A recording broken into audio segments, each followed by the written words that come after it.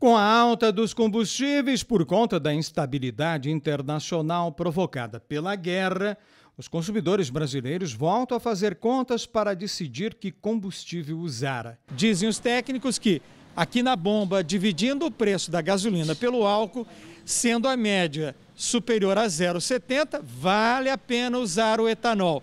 Neste momento, a gente dividiu aqui na bomba e a média deu 0,71.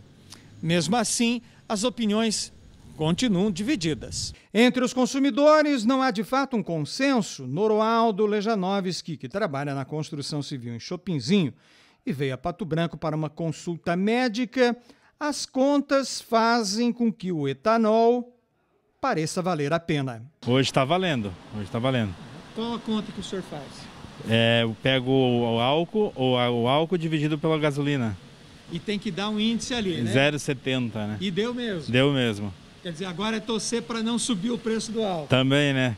Já Ademir Tondelo, trabalhador do comércio, diz que fez as contas e não vale a pena, porque no final o álcool acaba fazendo menor quilometragem. Eu já fiz as contas e não vale a pena não. não... Por que, que você acha que não vale a pena? O álcool demora mais para. Ele é, diz que é mais explosivo e coisa, mas ele gasta bem mais, né? A média de quilometragem baixa muito. Cai muito. E a diferença é pouca coisa. Daí não vale a pena. Não, vamos ficar na gasolina.